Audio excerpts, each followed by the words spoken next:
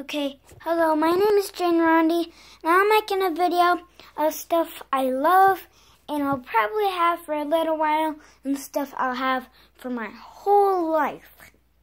And I want to thank you guys for watching this video and I hope you like it. Okay, I'm going to pause it.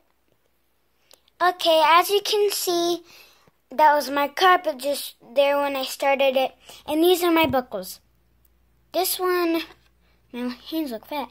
This one was my first one. This one was my second. I got this one, let's see, I think it was yesterday. This one was my first one. Yeah, it was already, I don't know when that was. Anyways, now I'm going to show you something else I like. Well, anyways. What? I love, well, let's see, let's see.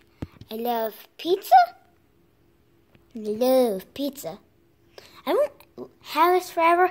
It's just like a comment. I like I like pizza.